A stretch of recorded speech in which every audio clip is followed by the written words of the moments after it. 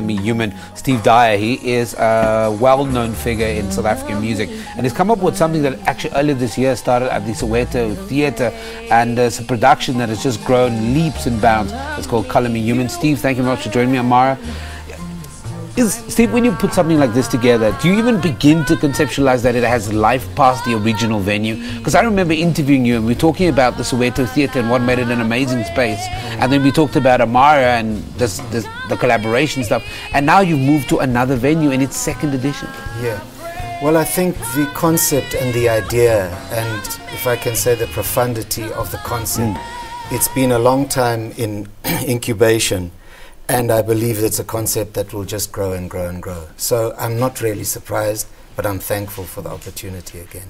And also, what this does, Ammara, you become more and more comfortable with the content because now you've worked out whatever the issues were, Steve, on stage, what it looks like, what it feels like, and you can now add things, perfect things. We're essentially not seeing the same show, are we? No, no, it's not the same show. We've had the opportunity to grow in the music, grow in the script, grow in the choreography, um, and the concept as well. We've actually been going back and forth discussing all sorts of ways to expand, not just in theatre, but in concert and in film. And there's just so many ways to take this particular concept. We're very excited. Yeah, when she says, I'm very excited. It begs the question uh, you're onto the Joburg Theatre now. Yes. What are the plans for the production? It now almost by popular demand has to kind of move across the country. Yes, well, we've put in proposals and we wait to hear. But I think you're right. It, it's, it's word of mouth, it's people coming. Mm. Um, we had a, the opening show on Friday evening.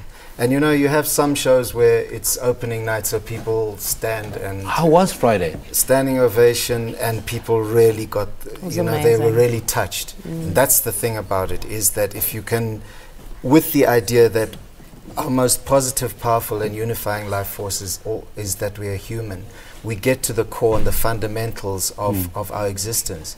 And if you look at our troubled times today, given these, um, these problems in France and tragedies and, and intolerance, through mm. whichever levels, like spiritual, social, political, mm. this is a message that appeals to everybody to say that, look, whatever your, your affiliation, we are all at our core human.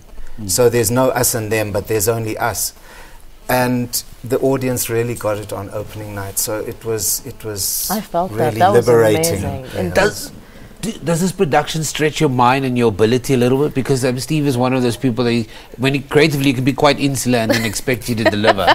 So, does know, it stretch your mind a little bit? It does. I, I, it does, and I think that's so important. I feel like um, a lot of the feedback that I got from the fans was they didn't know what to expect. Yeah. And by the time they walked out of there, they're like, "Oh my God, my mind has just been." Blown and stretched out, and they didn't see it coming that way. Um, and we had it the same way in, in, in terms of production and that kind of thing. And it's so important. That's the point. We're supposed to grow, and we're supposed to learn as we go every day. So there's something new. There's something popping off in in our dress rehearsals. There's something different on stage that happens absolutely every night. I promise that. And it it's fantastic because they feel it. They get it when they come to the show. Okay, we've run out of time, but I'm going to urge everybody go and check it. It's running at the Joburg Theatre. Uh, it's on until until the 29th of November. And you know by now, I'd like you to take your friends, your family, and your enemies. It'll bring you together. Uh, Steve Dyer has created something exceptional. It's called Color Me Human. It started early in the year at the Soweto Theatre and has now moved on to the Joburg Theatre. Can you imagine? Okay, that's where we leave it for now. Let's go to the performance area. For me, it's Cha Cha. All right, that's